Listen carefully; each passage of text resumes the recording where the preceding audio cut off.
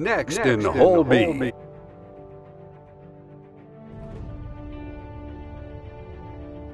During the coming session, aesthetic oculoplastic experts are going to uncover one of the most recently growing branches in human medicine aesthetic surgery and facial rejuvenation. Through a step by step approach, they are going to present ptosis correction, anterior approach, indications, and pitfalls.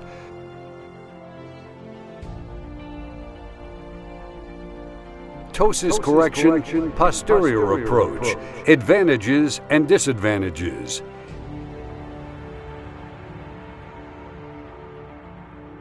Involutional ptosis surgery, rejuvenation enhancement tips.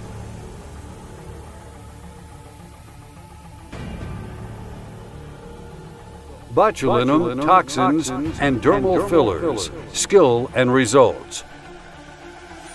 Rehabilitation algorithm for Graves ophthalmopathy, an improvement management approach.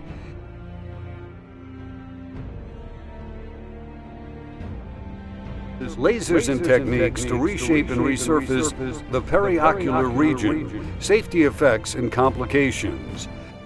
These interesting topics will be discussed by our panel of experts. Professor, Professor David, David Tse Bascom Palmer Eye Institute, Miami, Florida, USA. Professor, Professor Wendy, Wendy Lee, Lee, Bascom Palmer Eye Institute, Miami, Florida, USA.